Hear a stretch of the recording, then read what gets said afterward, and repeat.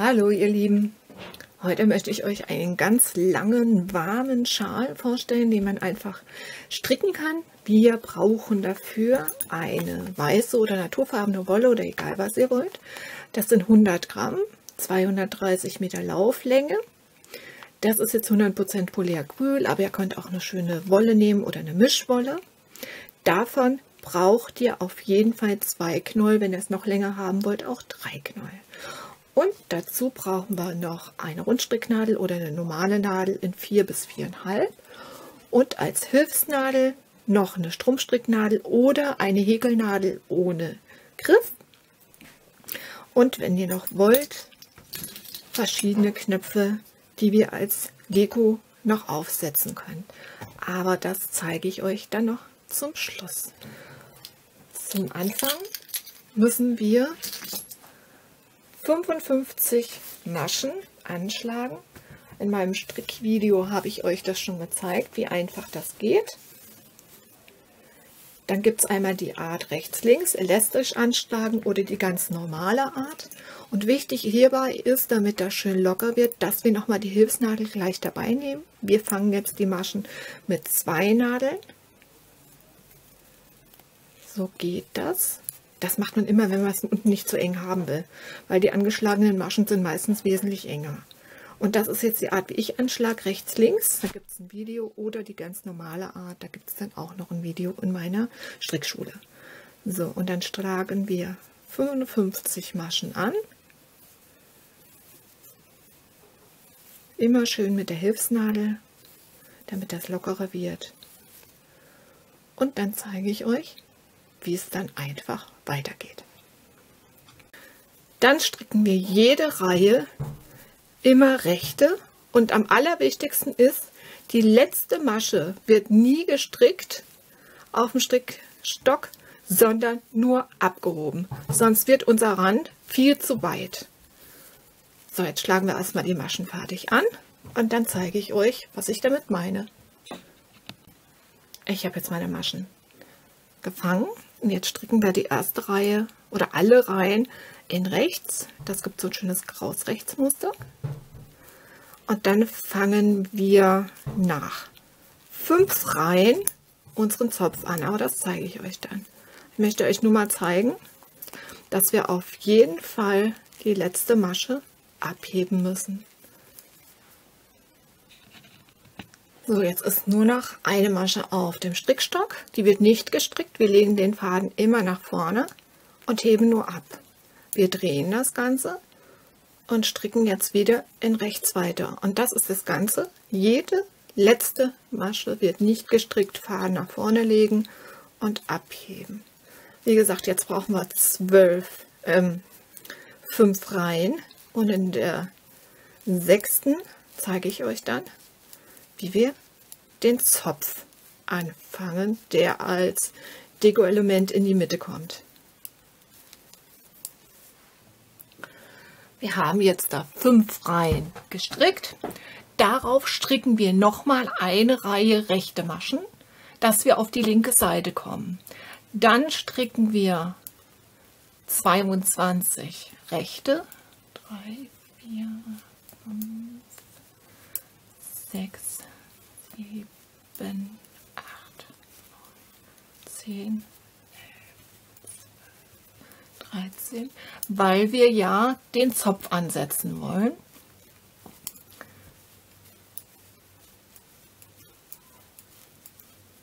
Zwanzig, einundzwanzig, zweiundzwanzig. So, die nächsten zwölf Maschen stricken wir links. Eins, zwei, drei, vier, fünf, sechs, sieben, acht, neun, zehn, elf, zwölf und die nächsten werden wir da alle rechts gestrickt. Auf der Vorderseite stricken wir immer nur rechte, weil wir nur auf der linken Seite unser Strickbild stricken. Das heißt, vorne immer rechts, hinten werden die mittleren zwölf links gestrickt immer schön dran denken, die letzte Masche nicht stricken, nur abheben. So, jetzt sind wir auf rechts. Wir stricken eine Reihe rechts durch und auf der Rückseite die mittleren zwölf wieder links. Und das machen wir dann fünf Reihen, bis wir dann wieder vorne sind und dann verkreuzen wir das erste Mal. Wir sind jetzt wieder auf der Vorderseite. Wir sehen das glatte Teil mit unserem Zopf. Und wir verkreuzen jetzt das erste Mal. Auf der Vorderseite, wie gesagt, immer nur rechte Maschen stricken. Und ihr braucht jetzt auf jeden Fall noch mal einen einzelnen Strickstock. Am besten ein von einem Sockenstrickspiel oder eine Häkelnadel, auf jeden Fall ohne Griff, sonst kann man nicht durchziehen und das dann stricken. Oder es gibt auch für Zöpfe extra so eine kleine Nadel, die man sich kaufen kann. Also ich habe jetzt einen einzelnen von meinem Sockenstrickspiel und dann nehme ich die Hälfte der Maschen auf diese Hilfsnadel. Das sind sehr sechs Stück bei zwölf. Jetzt stricke ich erst die die späteren sechs, zwei, drei, vier, fünf, sechs. Ihr dürft auf gar keinen Fall jetzt da die Maschen verdrehen. Das ist jetzt ein ganz einfacher Zopf. Es gibt einen halben Zopf, man kann auch verdrehen, aber das ist jetzt ein ganz einfacher. Und jetzt stricken wir die nächsten sechs. Eins, zwei, drei, vier, fünf, 6. So, und jetzt wird hier wieder auf unserer Rundstricknadel Faden nach hinten, weiter in rechts gestrickt. Und jetzt müssen wir wieder ein Zwischenteil stricken. Und dann müsst ihr mal gucken, wie euch die Höhe am besten gefällt. Immer dran denken, es wird immer nur vorne verkreuzt immer nur auf der rechten Seite von unserem Strickteil. Und dann müsst ihr jetzt überlegen, man kann zwischen 11, 13 Reihen sowas stricken und dann verkreuzen wir.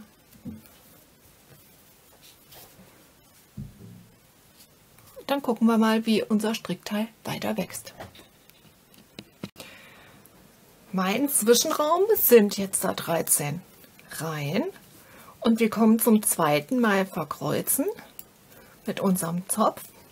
Ihr müsst dann immer den gleichen Zwischenraum nehmen, bei den Zöpfen müsst eure Reihen zählen. Am besten geht das wirklich, wenn man sich einen Zettel daneben legt und für jede Reihe einen kleinen Strich macht. Dann kommt man auch gar nicht durcheinander, vor allen Dingen, wenn man mal zwischendurch aufhört.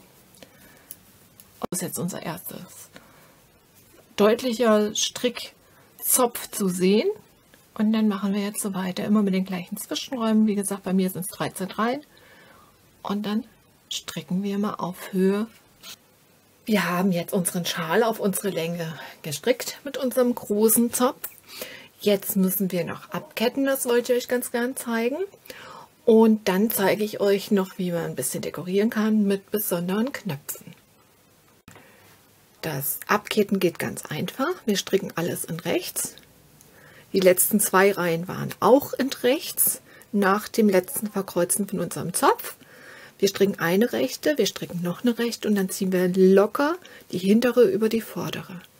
Wir stricken wieder eine rechte und ziehen locker die hintere über die vordere. Rechte, locker über die hintere über die vordere. Und so machen wir das mit unseren ganzen Maschen. Würden dann die Fäden vernähen. Wer, sein, wer das jetzt gern zusammen haben will, kann es auch noch zusammen nähen und ansonsten kann man es auch offen lassen. So, so ketten wir ab. Das machen wir jetzt bitte bis zur letzten Masche. Die letzte Masche ist abgenommen. Wir schneiden den Faden ein bisschen großzügig ab und ziehen den Faden nochmal durch die Masche durch. So, und dann vernähen wir. Das geht auch ganz einfach. Dazu habe ich wieder mein Handarbeitskissen, Nadelkissen das hatte ich euch ja auch schon gezeigt. Das ist aus einem Marmeladenglas. Und das dient mir immer ganz gut beim Handarbeiten. Wir fädeln auf Und dann vernähen wir alle Fäden. Alles auf einer Stelle gut vernähen. Also fünf, sechs Mal müsst ihr auf jeden Fall auf der gleichen Stelle hinein. Und vernäht das bitte gut. Es wäre ja schade, wenn es wieder aufgehen würde. So, dann können wir die Fäden abschneiden.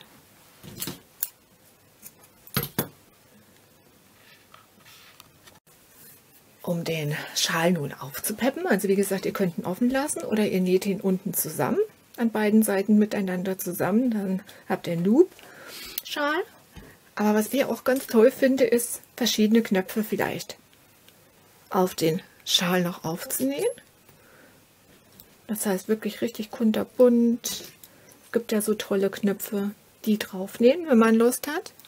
Man kann das aber auch im Trachtenstyle machen. Dann kann man auch verschiedene Knöpfe nehmen. Alles, was ihr zu Hause habt, so kunterbunt. Also ich finde es toll. Oder nicht in Metall, sondern vielleicht sogar nachgemachte in Kunststoff, aber die aussehen wie Holz. Und da habe ich auch verschiedene. Und dann hoffe ich sehr, euch hat die Idee gefallen. Und ihr schaut wieder mal rein wenn ich neue Ideen habe für euch zum Stricken, Basteln, Deko. Ich danke euch, dass ihr reingeschaut habt und tschüss.